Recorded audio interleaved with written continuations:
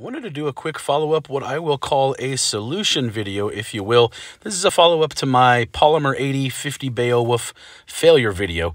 Here we have three magazines. On the left, we have my modified, uh, uh, it's a Bulgarian AR-15 magazine. It's a steel magazine. In the middle, we have a South Korean AR-15 magazine. That's steel that has not been modified. And then on the right, just for reference, we have a Lancer. Uh, it's a polymer magazine that's been set up for 458 SOCOM. So I'm going to always kind of try to keep them in this setup. So my modified one on the left, the South Korean in the middle, and the polymer Lancer 458 on the right. Even when I turn them this way, I have the Bulgarian on the left and so on and so forth.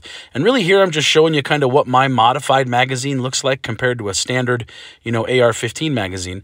And and the reason why we're doing this is because the standard AR-15 mags, they're not going to feed your 50 Beowulf rounds uh, correctly. They're going to either jam up or, you know, scar up your uh, uh, uh, brass or something like this, right? So here I basically just kind of show you why I, I sort of dremeled out that area right there.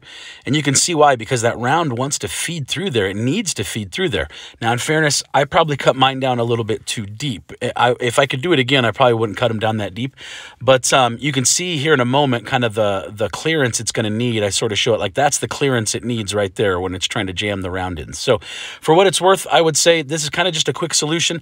Take like a, a Dremel tool or something. Here's the modified Bulgarian one that I did on the top. There's the standard one on the bottom. And all I did is I just took, obviously take the follower, take everything out out of it, right? Empty magazine body, and just kind of grind down that area right there, just like in a little semicircle. We're trying to get that huge, you know, lipstick size cased uh, uh, case round to fit through there. And you'll find that when you do that, relieve that area, you'll have much better luck.